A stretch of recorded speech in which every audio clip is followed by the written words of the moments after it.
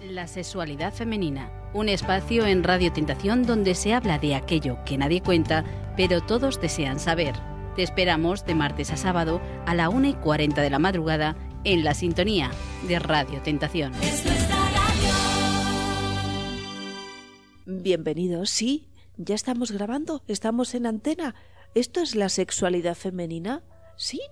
Ah, qué bien, el programa de radio. Por fin, las psicoanalistas del Grupo Cero, Laura López. Y Elena Trujillo, ¿qué tal? estamos, sí, estamos bien y contentas, ¿verdad, Laura? Muy contenta. Muy contenta de estar aquí un día más, un espacio más para, para poder hablar de estas cosas tan interesantes. Bueno, interesante mm, depende para quién pero yo entiendo que en el ámbito de la maternidad, Laura, como el 50% de la población mundial son mujeres, mm. uno de los puntos más importantes de esa eh, feminidad es la maternidad, la posibilidad de reproducción y bueno, y la especie nos necesita en esa colaboración también para, para que se pueda perpetuar, para que nos podamos asociar con el hombre y perpetuarla. Pero mm, yo os quiero plantear hoy o que gire en torno a nuestro encuentro a la cuestión de la sexualidad y la reproducción. si hay vida más allá de la maternidad, eh, la idea de que la mujer no es lo mismo que madre, que son cosas complementarias pero diferentes. Y un poco plantear, debe ser porque hay ciertos momentos de la vida, ciertas edades, que que uno tiene bastantes dudas si su deseo es tener un hijo no, cuando los signos evidentes de los actos de la vida muestra que no, que no es ese tu camino. Claro, porque una cosa es que yo creo que tenemos que diferenciar, Elena, lo que es el sujeto psíquico, la persona, ¿no? La búsqueda de la felicidad, el, el bueno, compartir con los demás, trabajar por los otros, el amor social y luego el amor de la especie, que ya conlleva la reproducción pero sabemos que a veces, eh, a veces una persona no, o las condiciones en las que está esa persona no están preparadas para, para traer un hijo al mundo, ¿no? Porque, no sé, se me ocurren lugares como pateras, ¿no? Como sitios en los que una vida incluso puede resultar a ser, pues bueno, algo bastante... Mm, bastante negativo en el sentido de que no van a cuidar a ese hijo bien porque hay unas situaciones muy complejas, muy difíciles. Y claro, a veces la especie tira de la persona, pero uno también tiene que tener ese concepto psíquico, ¿no? En el sentido de que tiene que incluir eh, que un niño no es, ser madre no es parir un hijo, sino que conlleva el cuidar del otro, en la generosidad de la educación del desarrollo. Si uno no mira por esa, por esas cuestiones, no pasa solamente la experiencia de ser madre con parir un hijo, ¿no? sino que uno puede ser madre también atendiendo a otras personas y permitiendo que crezcan. Porque, porque has hablado de la maternidad al principio como una cosa de mujeres, pero, pero claro, la maternidad también conlleva al hombre. Y lo hemos hablado en otros programas, ¿no? que todos tenemos que tener incluido esa, ese factor ¿no? de cuidar al otro, ese factor de tener el límite, esa actividad o esa pasividad, dependiendo de lo que las circunstancias requiera. Claro, el hecho de, tener esa, esa, esa, incertidumbre a veces o esas dudas ¿no? acerca de, de si quiero ser madre o si quiero o si no quiero serlo, ¿no? No tiene tanto que ver con, con ese instinto que se dice maternal, ¿no? Porque es, como que la especie te llama en un momento determinado, pero tiene más que ver también a veces con, el hecho de, que uno cree que a lo mejor algo le falta en su vida, ¿no? Y ese hijo a veces llena pues ciertas frustraciones que uno tiene, ¿no? O, esa falta que, hemos hablado en otros programas que acontece en la mujer, que cree que no está completa porque hay algo que le va a suplir y claro, el hecho de ser madre, mm, pues hay que ver realmente qué es ese hijo para esa madre. Tú no estás convencida, se te ve, que te enrollas mucho. bueno, porque hay que Mira, te voy a traer un texto te voy a traer un texto de Miguel Oscar Menasa de la novela Tu cuerpo es el amor. Cuando rozo tu voz, el ronco bramido del mar habla de tu presencia.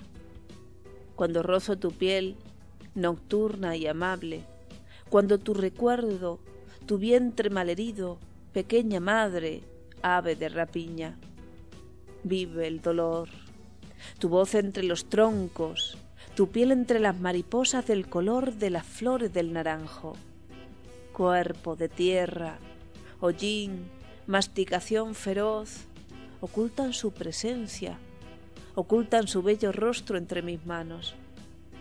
El niño no quiere morir, pide clemencia.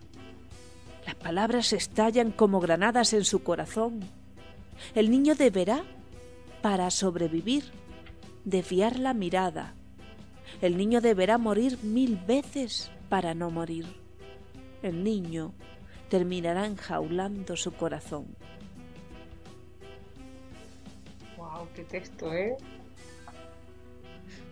es complejo también, ¿eh? complejo. Claro, para, para alcanzar la maternidad uno necesita de un otro, necesita de un hombre, y luego va a dar la vida a otro hombre, a otra mujer.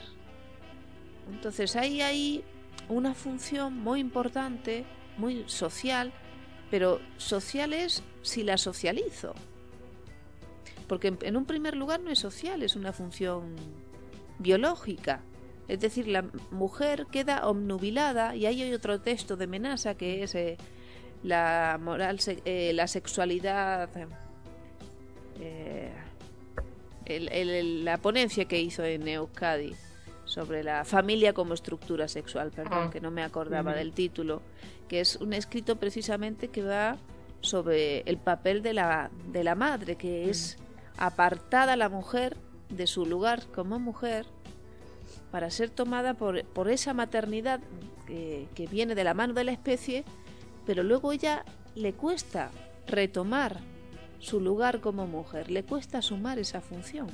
Y aquí venimos a, recordar o a incidir que es un trabajo psíquico el de permanecer en, la construcción de una mujer. Es que claro, Elena, también, perdona que te interrumpa, pero estaba pensando que también eh, hablabas de la diferencia ¿no? entre la experiencia biológica y, y, lo que es lo psíquico. Entonces, claro, si tú a ese hijo no lo pasas por la palabra, en el sentido de que no hablas de esa, mm, bueno, no vamos a decir experiencia, ¿no? De esa situación, sí, de, de lo que acontece en ti ese hijo, a veces ese hijo en realidad no es alguien que tú permitas crecer, sino que es una parte tuya que tiene que ver con, tu infancia o con el, la experiencia que tú tuviste cuando cuando, bueno, cuando naciste, ¿no? En la relación con tu madre, a veces uno no puede diferenciar eso de, ese nuevo ser que aparece y a veces no se le permite crecer, ¿no? Y, es importante que se pase por la palabra por eso, porque si, si no podemos nombrarlo, no podemos, eh, digamos que construir esa, ese significante para nosotros, a veces hay personas que son madres, pero son madres biológicas, no psíquicas, en el sentido de que no permite que ese niño crezca, eh, está basada en tus experiencias pasadas, no en lo que conviene a ese hijo, ¿no? Que es algo bastante complejo. Claro, complejo y porque la vida psíquica eh, requiere de esa complejidad. A veces se nos, se nos pide desde esa inocencia de la, del que pregunta, que a veces el que pregunta es como, es como un niño, reproduce esa ingenuidad del niño, mm, anhelando una respuesta, cuando la ciencia nos muestra que ninguna respuesta es ninguna verdad, porque la verdad es el trabajo en el camino, en la producción de esa verdad, porque se modifica. Claro, el, el camino para saber lo que es una madre, lo que es una mujer, es un trabajo de cada uno y tenemos que recordar que es Freud el que le va a permitir trabajar a la mujer ese camino de la libertad. Porque el psicoanálisis es el lugar donde se le pide a la mujer por primera vez que hable. para liberarse de la neurosis, de ese sometimiento, esa represión de su sexualidad, para permitirle no quedarse en el camino de la, de la libertad sexual entendida como libertinaje, ya que la única libertad posible es poder trabajar para construir tu propia vida. Y eso nadie te lo enseña. Lo tienes que producir en tu proceso psicoanalítico. Y cuando decimos psicoanalítico, ¿por qué incidimos tanto? Bueno, porque es que es la única disciplina científica que a día de hoy trabaja el inconsciente. No digan que soy una obcecada. Es que no hay otro lugar donde se aborden y se traten estas cuestiones por mucho que uno hable, porque no es hablar que uno con lo que uno se psicoanaliza, es mucho más que eso. Totalmente. Entonces, ¿qué le recomendamos a las mujeres que están dudando si ser madre o no ser madre? Bueno, les recomendamos que, que eso es un trabajo, que no es ningún estatus social, que no es el camino a la felicidad, que los hijos no van a ser para ellas, sino que ellas van a ser una trabajadora de la sociedad si deciden el camino de la maternidad, y por tanto, como es una decisión conviene en muchas ocasiones cuando uno tiene dudas, cuando, cuando uno se ha dado cuenta que en otras funciones de su vida pues ha tenido algún obstáculo, conviene consultar con un psicoanalista para poder producir ese lugar de, de, madre que es antes que tener un hijo. Que a veces uno tiene que construir todavía su propio desarrollo infantil no está, como, como tú decías antes, no está todavía para, para tener un hijo. Primero tengo que ser un hijo, primero tengo que ser una hija. Bueno, incluso Elena, hay, hay muchas mujeres ahora que están levantando la voz y están hablando eh, acerca de, de, esa experiencia en la maternidad, ¿no? porque lo ponían siempre como algo ideal, muy bonito, que toda mujer tiene que pasar por ello.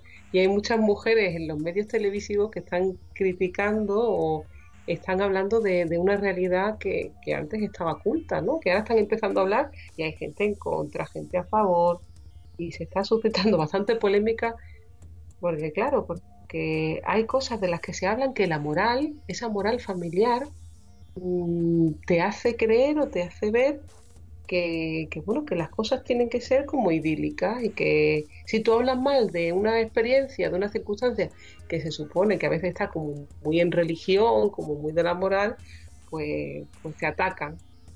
Y claro, hasta cierto punto, pues estamos en una sociedad pues muy reprimida porque no se puede hablar de ciertas cosas.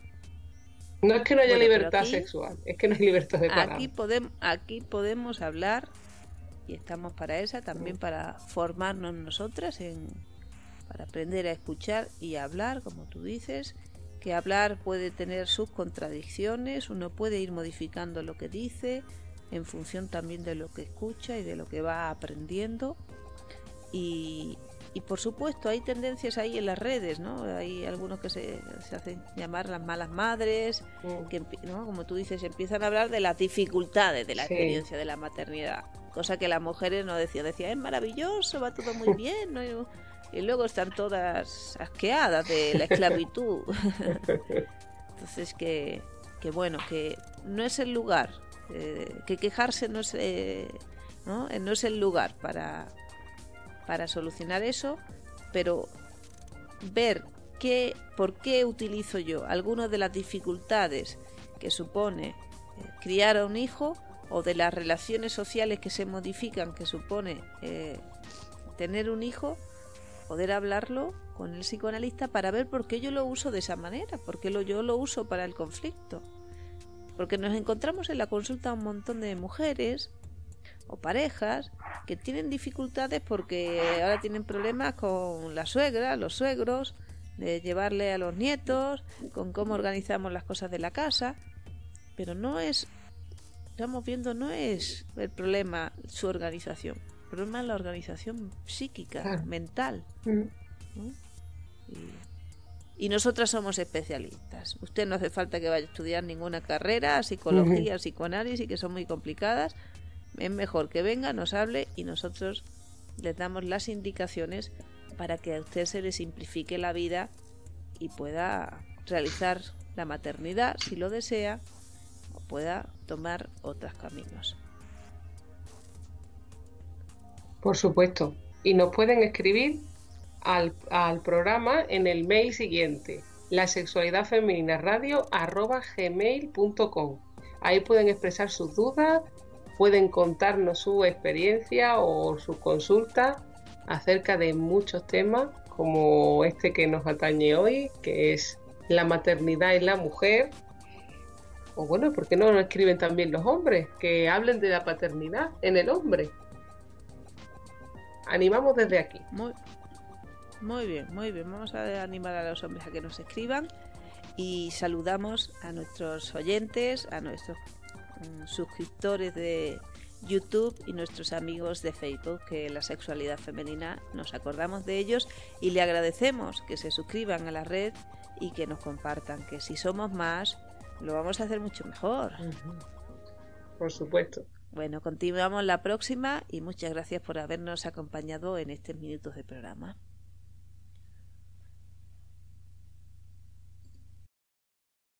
La sexualidad femenina, un espacio en Radio Tentación donde se habla de aquello que nadie cuenta, pero todos desean saber.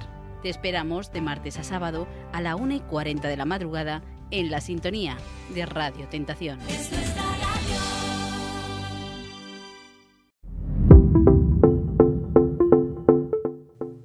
Con Servicios Lunis, aprende un idioma con profesores de calidad. Disfruta de las ventajas de las clases por Skype.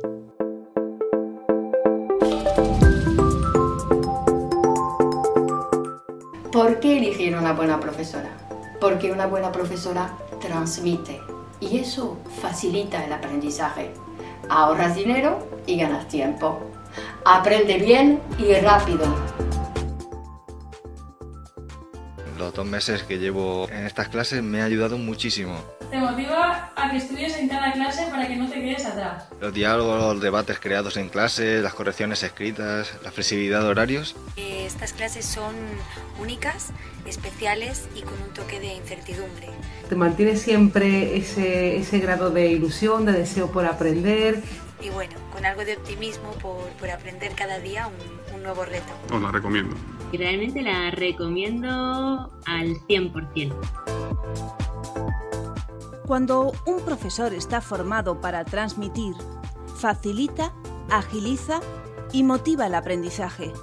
Cuidar la formación del profesor es cuidarte a ti.